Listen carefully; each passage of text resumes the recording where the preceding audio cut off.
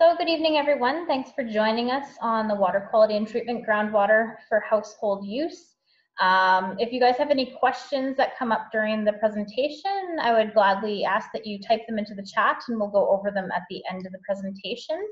Um, other than that, I guess I'll just turn it over to Sean and he can introduce himself. Good evening. Um, thank you for the introduction. Um, my name is Sean Elgert, Agricultural Water Engineer with Alberta Agriculture and Forestry. I'm in Barrhead here. Um, I didn't have to travel two and three quarters hours up to Bonnyville, which is a little nice, but uh, it's good to be with you here this evening, especially in these times. I'll be talking about water quality and treatment for groundwater for household usage. Um, so uh, I'll be talking about the common problems for groundwater quality and treatment, and it's going to be for household use only. This is for drinking water and laundering, bathing, etc., uh, but not for surface water sources. Um, that is more involved, surface water sources. And I hope to have time at the end. Um, it's I'm going to have to talk a little quickly, but I'm, i hope to talk briefly on groundwater under the direct influence of surface water, which uh, we use the acronym GUDI for that. Um, as far as the quality of our groundwater goes, a higher percentage uh, of reported waterborne disease outbreaks for human drinking water came from private water supplies as compared to municipal and other sources.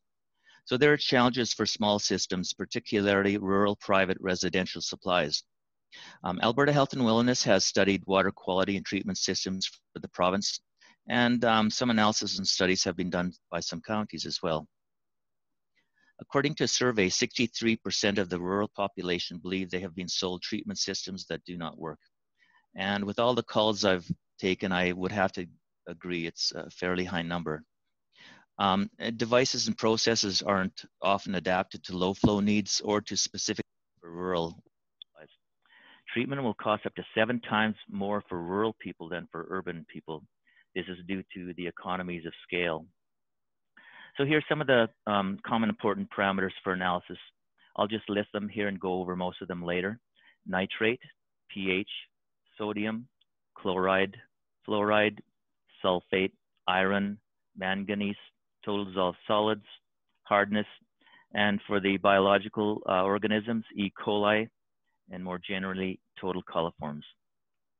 For rural domestic usage, you can contact a local health unit and they um, uh, provide free sampling in some places. Um, they may charge a courier fee, or you can go to a private lab. Um, Alberta Health Unit has been testing heavy metals for over a year now.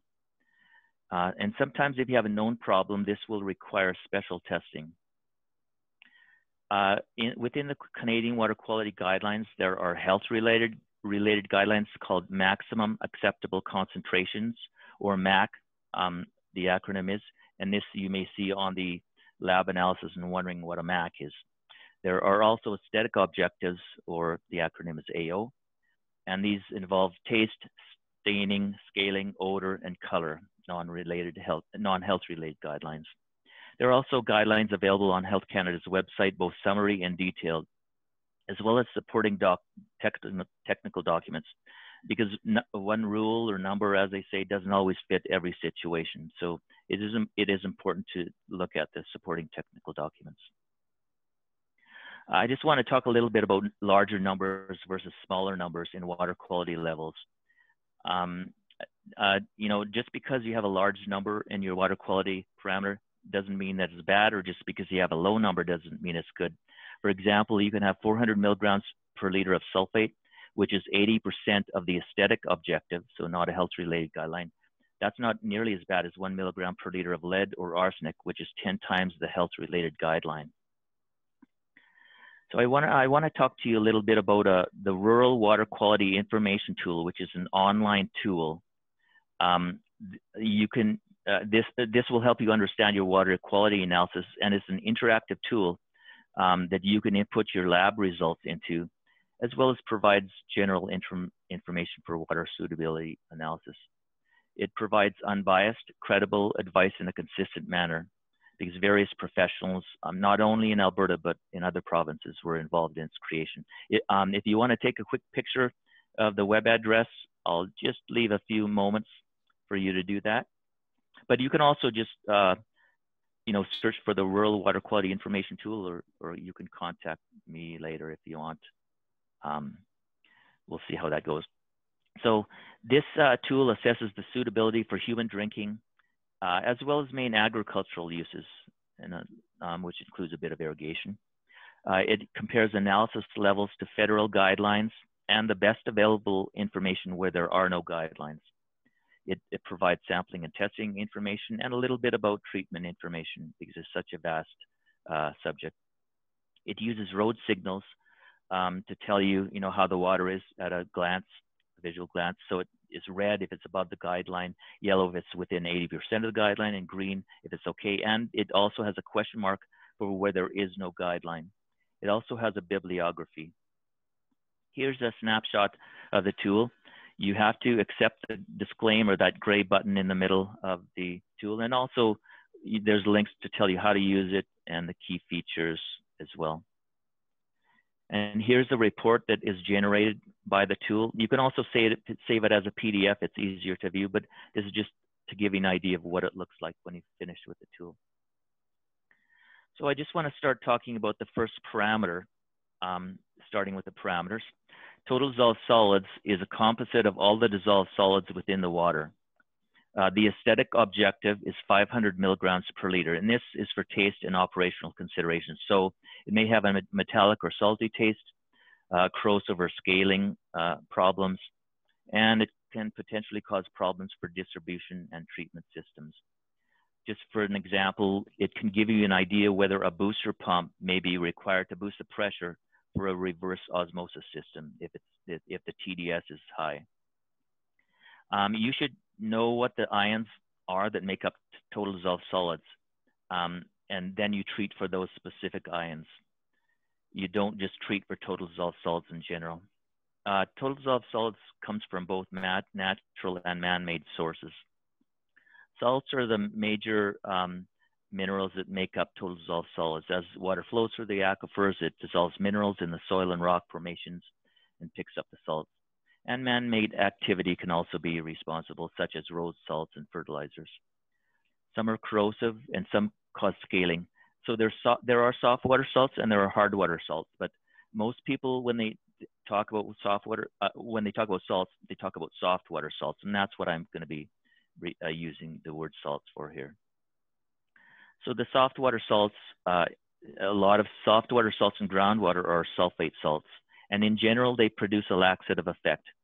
Sodium sulfate, or what they call, call Glauber's salt, um, it has the most the, or the highest laxative effect. It tastes bad, and the high sodium is not good for the heart.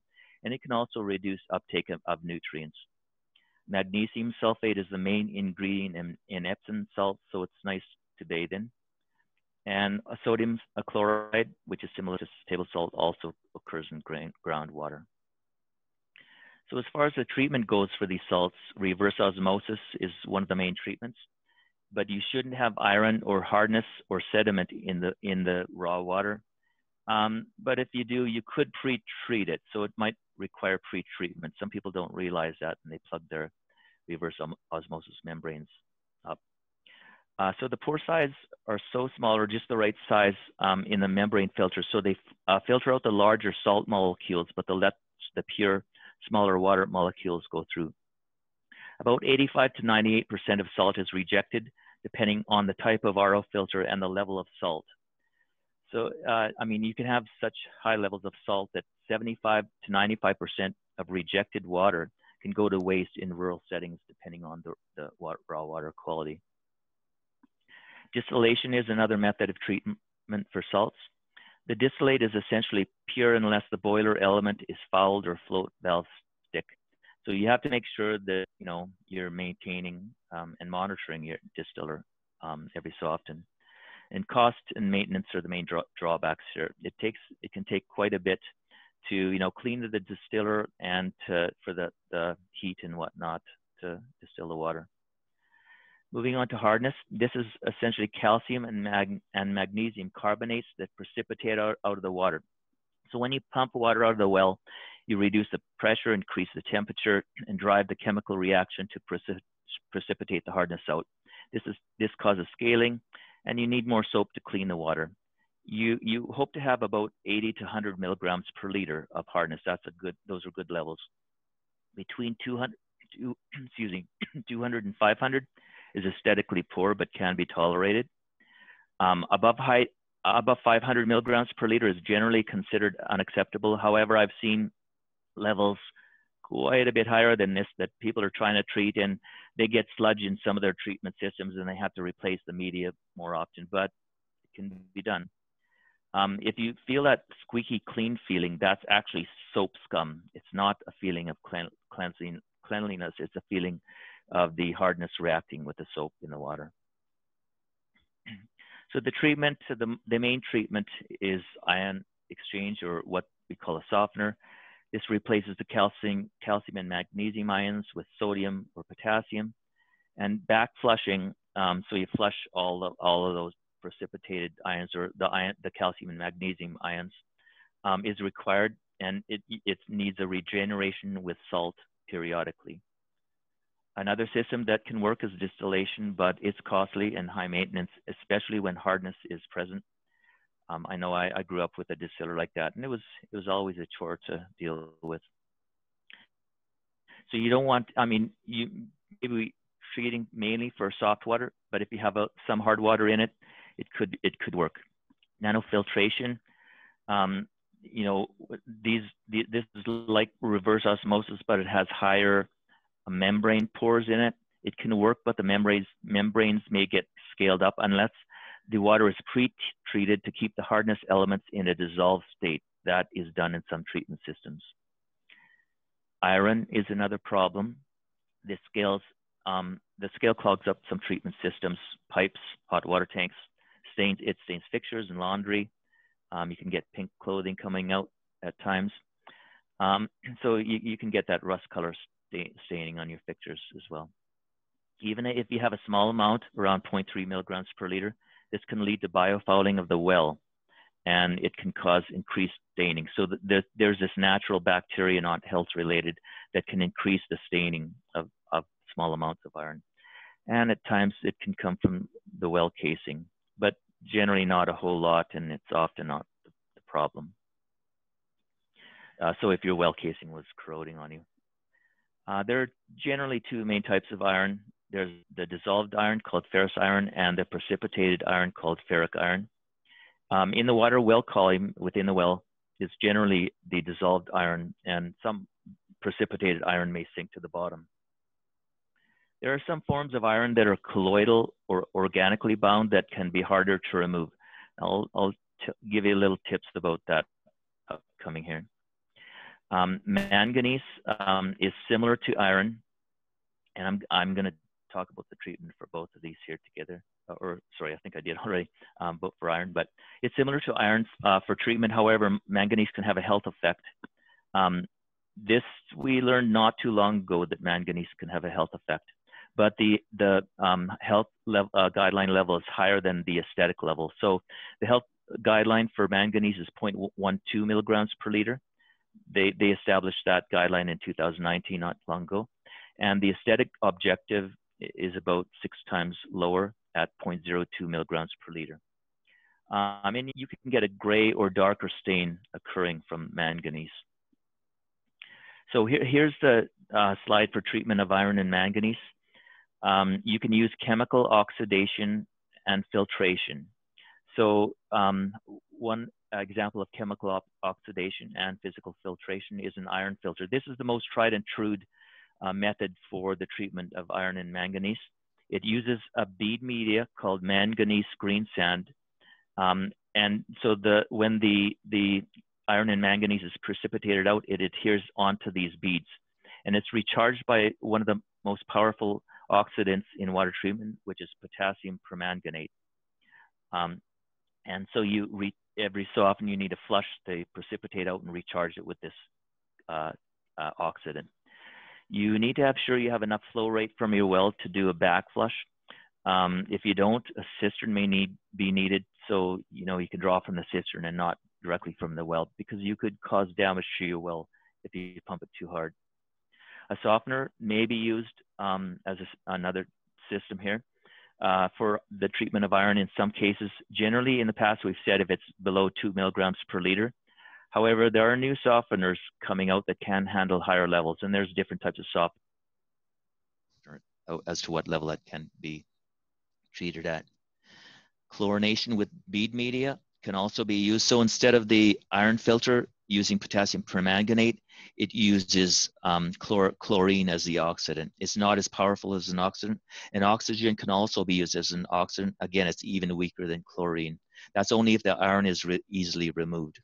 So talking about that, you can sort of get an idea of how easily the iron is going to be removed, hopefully ahead of time by doing jar tests. So you take three jars, you put you take you put clean the raw water in clean jars, and in the first jar you beat it up with a fork, oxygen into the water with a fork. The next one you put five drops of chlorine in the jar, you stir that around, and the next one 30 drops, and you monitor this over a period of time to see how quickly they precipitate out and how readily they precipitate out, and also the colors of what's precipitating out. Is it rusty color? Is it a gray or dark color? And manganese is generally harder to remove than iron. They can plug up membrane filters or other treatment systems as well. Uh, moving on to hydrogen sulfide gas. Uh, this gives off a rotten egg odor. You should hopefully know what the difference between a rotten egg odor and a septic odor is. But this uh, gas is noticeable at very low concentrations and it's generally not necessary to test for it in most cases unless it's very high because if it's higher then you want to know what that level is because some systems may not be able to remove the higher levels of H2S. H2S can be created by bacteria in the aquifer or water well. It can also be created in the hot water tank by a chemical reaction with the water and the sacrificial anode. So it can help to troubleshoot, um, you know, what the problem is or where it's coming from. Um, so is the smell coming from the cold water or the hot water? If it's if it's a fairly you know stronger level, if it's only coming from the hot water, it might be only generated from the hot water tank. But if it's a lower level, sometimes you know the hot water can warm up the H2S gas if it comes even from the well. So it's a little harder to tell if it's at a lower level. Uh, so one of the treatments for H2S gas is spray aeration. So you spray the water, the raw water into a tank. This allows the H2S molecule of gas to travel a shorter distance to escape out of the water. And that gas, the H2S, has to be vented outside. Um, and then you can follow up with a chlorine injection, injection system when there are higher concentrations of the gas. Because generally, if, if you have higher levels, a spray aeration will probably leave some of the gas inside. So you can polish it up with the chlorine. And then after that, you can follow it up with a chlorine filter to remove any excess gas or chlorine.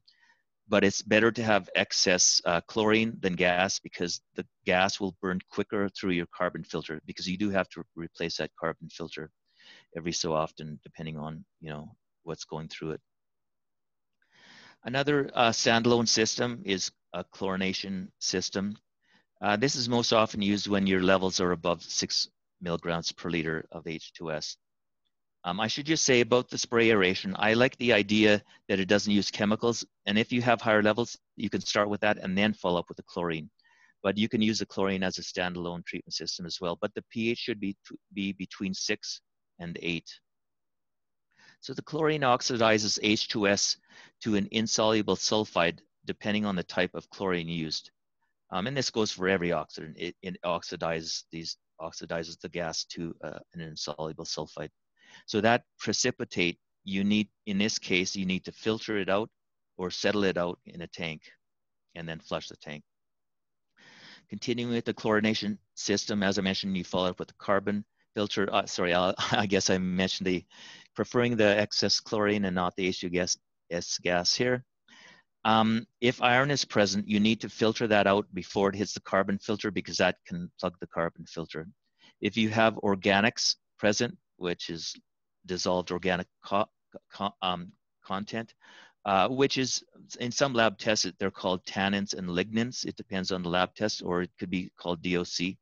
If that's present, this can create disinfection products that have a statistical link to cancer for long-term consumption and um, so you want to be you know making sure you don't have those sorry, I just want to back up one time. Yeah, so and so a carbon filter can remove it as long as it's you know fresh and it's not exhausted. the carbon filter can remove these disinfection byproducts. Um, so another treatment for H2S is an iron filter, um, the same type of type of iron filter this that as I talked about before. Uh, but this in this case is best used if it's mainly treating for iron if you have iron there, but with a little bit of H2S. So, you know, under two milligrams per liter of H2S because it uh, the oxidant potassium permanganate is expensive and it'll, that H2S gas will burn through it quickly. Um, so, so as I mentioned, this uh, system is recharged with potassium permanganate, but there are no harmful disinfection byproducts uh, produced if you're using that oxidant if tannins and lignins are present. So that's, that's a good thing. So just moving on to arsenic, um, the, there is a, the maximum acceptable concentration is 0.01 milligrams per liter or 10 micrograms per liter. That was changed in 2007 from 0.025, so two and a half times differential. Um, and, and, that's a quite a low number if you look at other parameters. Um, arsenic 3 is more difficult, and arsenic 3 we call arsenite, and arsenic 5 arsenate. Arsenic 3 is more difficult to remove than arsenic 5 as it's neutral charge. Generally, if you have a neutral charge as opposed to charge, it's, it's harder to remove the neutral charge element. Uh, also, arsenic 3 is a lot more toxic than arsenic 5. It can be about 60 times more toxic. Um, oxidant, oxidizing agents, um, for example, chlorine, are used to change arsenic 3 into arsenic 5. Um, so it is easier to remove. That's a pre-treatment. Um, so when you're testing for arsenic, you should test for uh, competing ions also and silica and organic matter because this will also re react with the chlorine and you may need to up your chlorine level so there's enough chlorine le uh, left over to treat the arsenic. And you can also contact a relevant professional for treatment advice. In the Bonnyville area, uh, arsenic levels are about 10 times higher than arsenic 5. Um, so, uh, you know, there's more care needed to treat. Um, and arsenate, if you think about the words arsenate and arsenite, arsenate is more oxygenated. That might help you to remember the terms.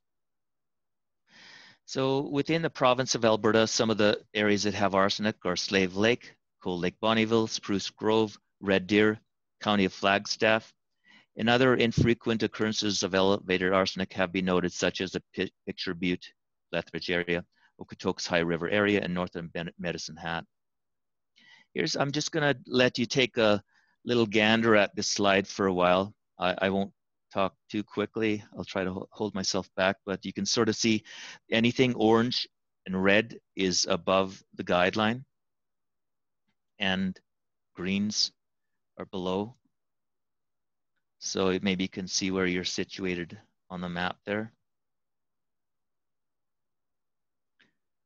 That's from Alberta Health and Wellness. Um, there is an online tool called AEPHIN, also from Alberta Health, that you can, if you just Google uh, or do an internet search for the word AEPHIN, it should come up, you know, among the first searches. Um, so Alberta Health has been collecting uh, trace metals samples for over a year now. And I, if I were you, I'd just sort of play around the tool and take a look at different parameters and see where they're with where they end up. It's sort of interesting, but bear in mind that this is only over a year of data, so it's it's not the whole picture by any means. Uh, so one of the treatments for arsenic is reverse osmosis. The majority of arsenic levels in the surveyed area are nearly the same before compared to af after treatment. So treatment hasn't been that maybe well monitored, maybe well um, maintained, maybe well operated, um, or selected. Um, and in a few cases, arsenic levels increased after treatment. This is perhaps when a system has been exhausted and should have been maintained earlier, or it's the wrong treatment system. Uh, reverse osmosis is a reliable method of treatment uh, Health Canada states that it can remove up to 85% with pre-treatment. So pre-treatment includes oxidation, as I mentioned before, and if needed, sediment filtration if there's enough particulate that may plug it, something else up that uh, like the reverse osmosis system, then um, you should filter that out before. And you need to monitor, monitor it and operate it correctly. Uh, so you can have a system system programmed to uh, automatically shut down if the conductivity, which is a parameter measured in water quality, um, if it exceeds 15% of the feed water. Uh, you can test it for manually as well as fairly simple, you know, test as long as you're familiar, become familiar with the method. Um, you can buy, you know, fairly inexpensive systems to do that. This is the point is to shut the system down before arsenic bypass occurs. So it's a safe level to shut it down at. Uh, I don't see a lot of systems in the local area for sale out now, but I hope they will come to market. Um, and you might be able to find some outside the area.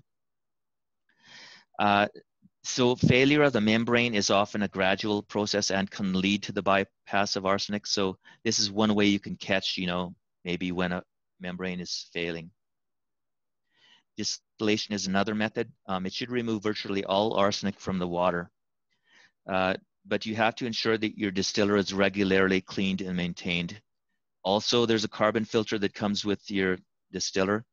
Uh, you remember to replace that regularly generally three months, because it not only catches volatile organic compounds that may have a link to um, cancer, um, but it also can filter out bypass arsenic if it happens to occur, if there's a failure in the distiller or something. Though, though you don't want your distiller to be failing. Um, for larger systems, you can get iron-based absorptive media. Um, so you could pre-treat with an oxidant such as chlorine or hydrogen peroxide.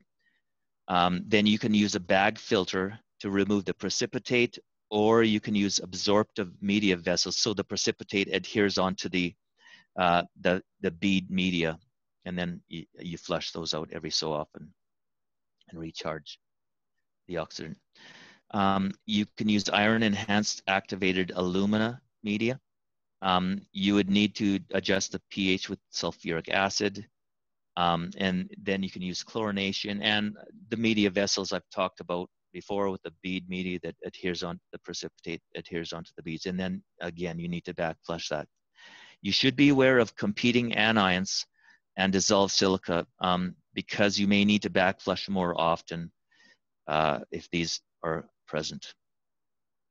Uranium is, uh, so arsenic, uh, you know, is a problem in the area as well as uranium. Um, the maximum acceptable concentration is 0.02 milligrams per liter. This was changed in 2001 from 0.1 milligram per liter, so five times.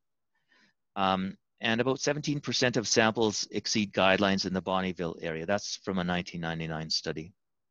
Uh, the, uh, uranium is more prevalent in wells less than 30 meters deep, and even so, uh, more so in wells less than 15 meters deep. And it comes basically from minerals in the ground dissolved over long periods of time as the groundwater flows past the minerals. Um, so the treatment for uranium is uh, similar to um, for arsenic. Uh, at different pHs, different species of uranium carbo, carbo, uh, sorry, carbonates and hydroxides exist and do not filter out the same. Uh, reverse osmosis, similar to arsenic treatment, um, can be used.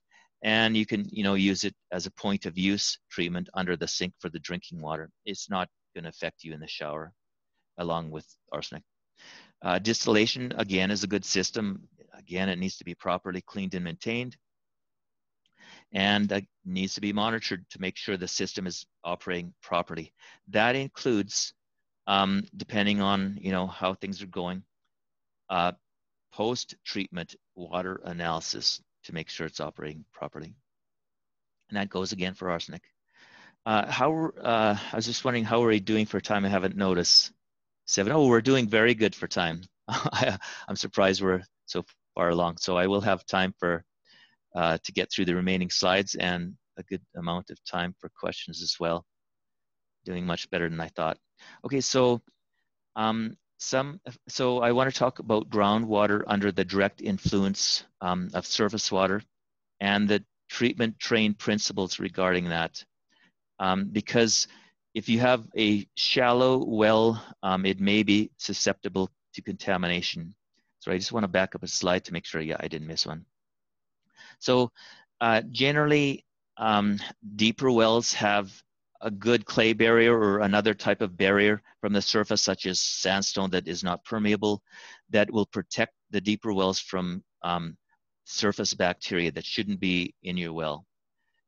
And uh, some however, some even some shallow wells can have a clay barrier that can protect them from the surface bacteria and microbiological organisms. Um, so in this in this case, uh, you need a more robust and capable system to deal with that. You know, and you can have variability. If you have higher levels of rainfall, you can have more biological organisms uh, getting into your well. And so it has to be robust enough to meet that variable water quality. Uh, you also have to monitor and maintain it more rigorously than um, you know a deeper well that's protected better.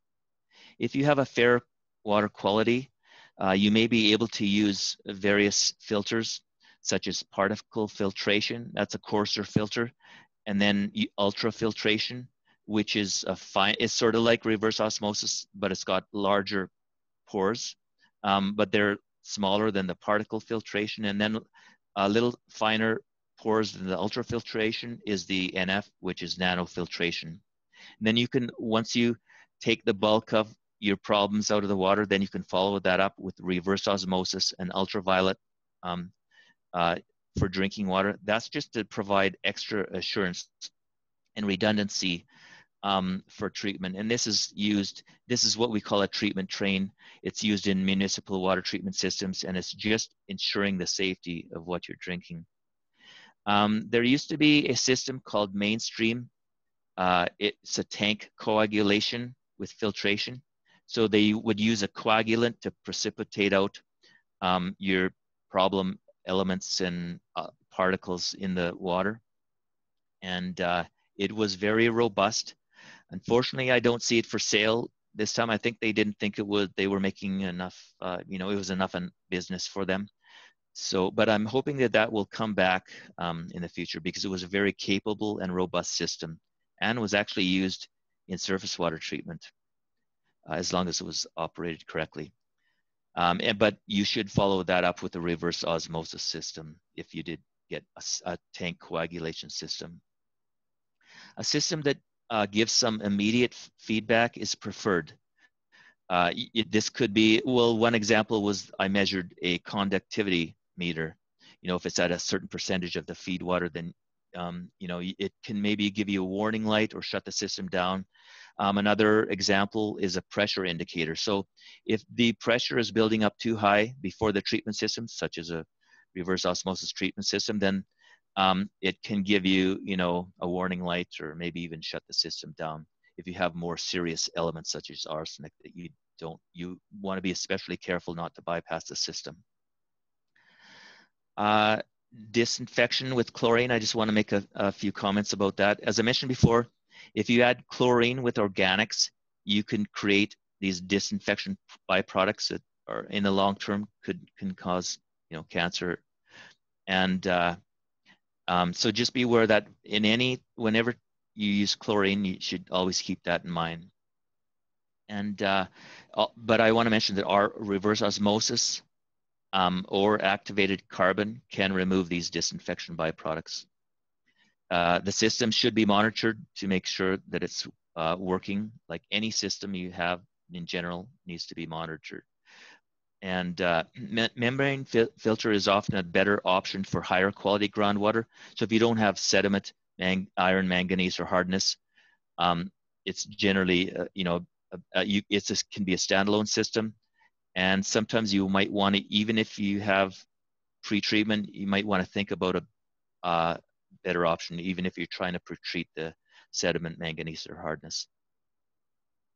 As far as general tips on system selection goes, uh, you should, you know, do some research to find out the time and knowledge required for you to operate the system. Some people get a system and then they don't realize all what's involved and then they end up regretting the system. Uh, I mean, you can get, you know, the dealers to um, operate it and maintain it for you. And this often does occur in, in some treatment uh, systems, especially the more complicated ones. You need to consider the flow rate and your daily needs. You should do some calculations ahead of time. Um, uh, you know, just so you, you and, and determine can your well produce what you need to um, to use and to backwash. Um, and uh, pressure requirements for reverse osmosis filters uh, should also, and backwash systems should also be required. You may need a booster pump, for example. You may need to, yeah, so you may need to also repressurize the water, not just to provide higher flow from a cistern, but to bump up the pressure. And you should also uh, consider the footprint for the physical space required for the system. As far as maintenance and operation goes, some chemicals are more dangerous to use. So, you know, it, it may require um, handling and service by the contractor or the dealer. Uh, troubleshooting is, uh, I find it a fascinating subject. There are many things that one can say about troubleshooting. Um, as long as I'm here, you can phone me for assistance, but that's a whole nother seminar and uh, um, I enjoy doing it though. Uh, but you need also you need to consider the whole water analysis when you're selecting a treatment system uh, because you know and, and I'd say this before any questions come because um, uh, but we probably have enough time and as there's not as many participants. So um, I was going to say that uh, you know I may not be able to provide I may not be able to look at all the parameters if you ask about your specific water um, because it requires a lot of questions and knowing each of the problematic um, uh, elements or each parameter level. Because even if you only want to treat for one problem parameter, there are other parameters that may throw a wrench into the treatment system. So you need to look at the whole water analysis.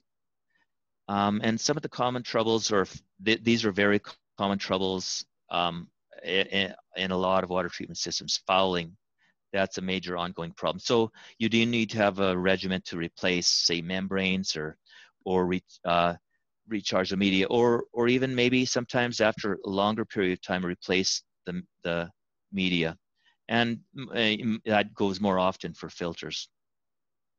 And choosing the wrong system has, unfortunately, as I mentioned before, been quite a you know common problem. And that I finished uh, earlier than um, is anyone going to complain that I finished earlier? Anyways, uh, I guess we have more time for questions and we may be able to leave earlier.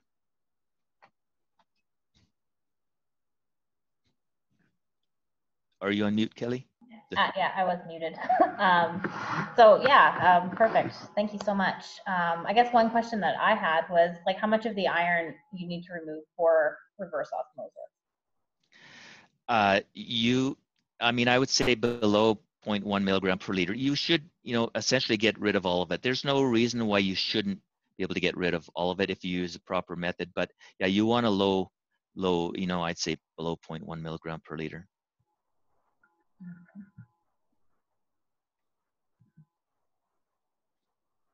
You can live with a little bit of, you know, this or that, but uh, it's not preferred. You just have to replace your membrane more often.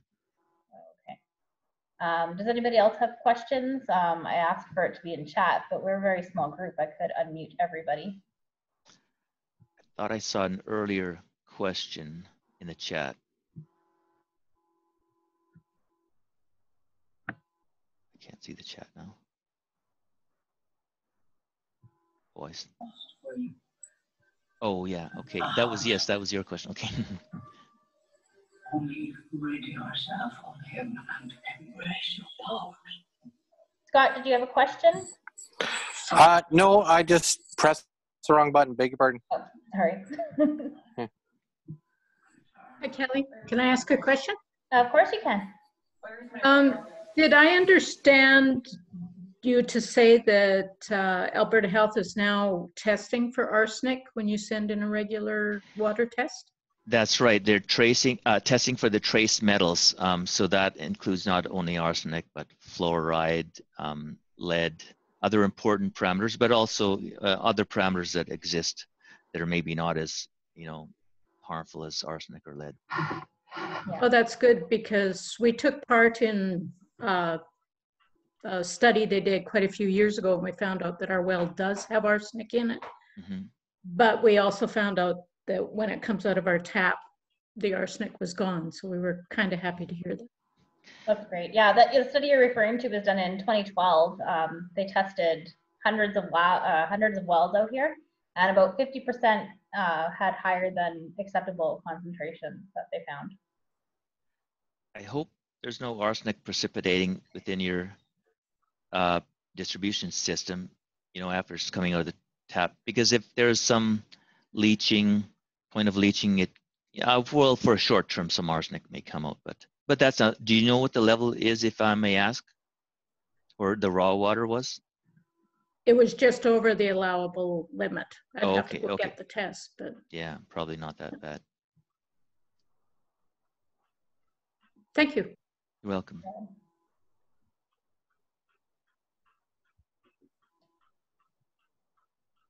Are there any other questions regarding, you can ask about your own treatment train or um, anything that you'd be thinking about setting up? Or if you have a water test handy, if you have anything that you'd like to note about, please feel free. We have the time.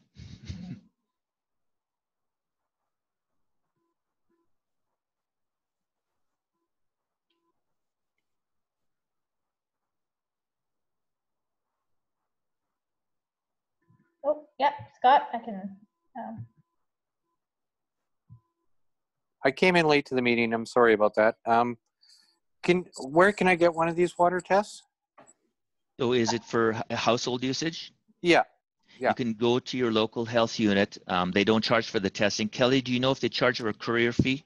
Uh, they charge a courier fee. I think it's under twenty dollars for it. Um, yeah, Yeah. you go to your local health unit. So if you're Oh, close to Bonnyville or St. Paul or anywhere, and um, just make mention that you'd like to get heavy metals tested, because I think it Oh. is a different bottle set that they give. They Right. do it automatically now. Okay. Perfect. And if it's for other non-house use, household usage, just I mean I don't know if there's any farmers here, but um, you you you would have if if it's for agriculture, you'd have to go to a private lab. Just to mention. Yeah, just household. Thanks. Yeah. Okay. Thank you. And just a note, um, when you do take your test, they'll give you two bottles. They'll give you a bacteria one that you can take from your tap at your kitchen, um, and then the other one should be done before your treatment system. Okay. And Perfect. make sure you follow the instructions to the T and dot the I's Will as well. Will do. It's- Will it's do. important. Yeah. Okay. And stick your Perfect. stickers on because they're pretty sticky. Thank though. you very much. You're welcome. I guess the other thing to mention, if you are submitting your samples, uh, most health units take them on Mondays and Tuesdays. Um, so you can get your bottles anytime, um, but you have to grab your water samples like the morning of, or as close to as when you're going to deliver them. And I think they're usually before noon that you have to drop them off. So that's Is that- keep in mind. Is, is that in the provincial building there, or I, I'm not familiar? Um, health units are located in different places. In Bonnyville, it's right in the provincial building. Um, in St. Paul, it's on the west end of town. Um, I'm not sure where Elk Point's is, um, but um, they're usually fairly easy to find. Yeah.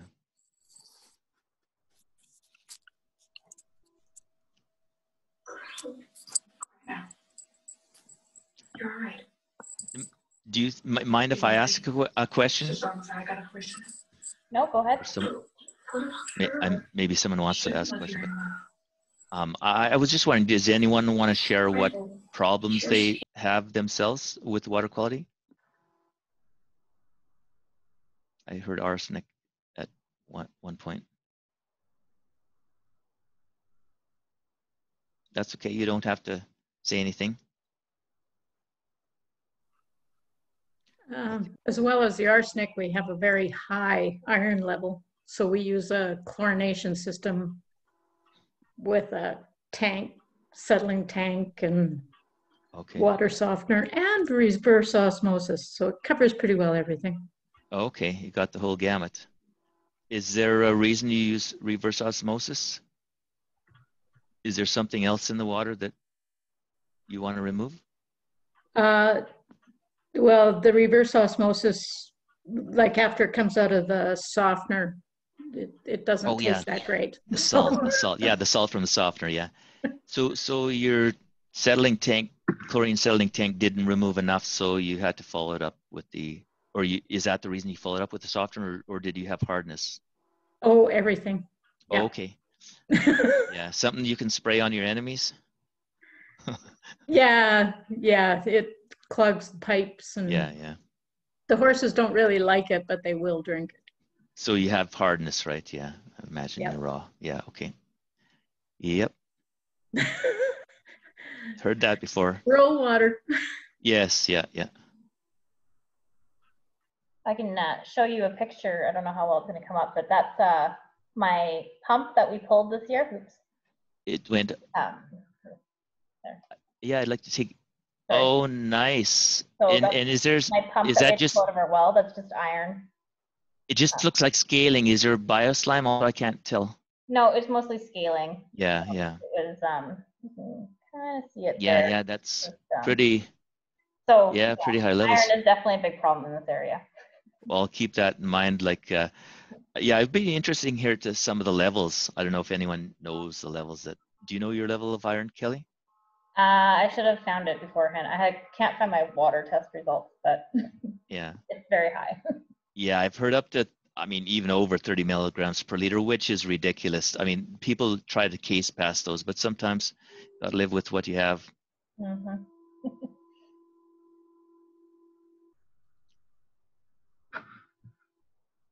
Very good.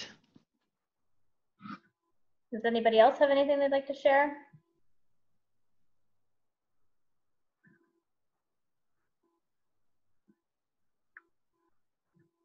You might have to unmute yourselves, but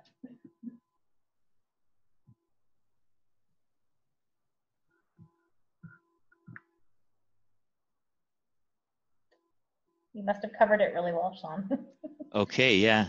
Um, I didn't re- next time I'm going to add more information because I didn't realize I would finish so early. So uh, I let them off easy this time. Mhm. I thought it would be over. Well, if anybody ever has questions, um, you can always follow up. I still have some of the old Agdexes on iron and arsenic and different things that way. So um, I do have more information, or I can always get you in touch with Sean as well. Um, so yeah, so feel free to contact myself at LARA anytime. So other than that, I will thank you very much, Sean, for uh, presenting tonight, and thank you guys for participating. And I guess we can end there and have a good night. Thank you, and thank you for hosting, Kelly. You're welcome.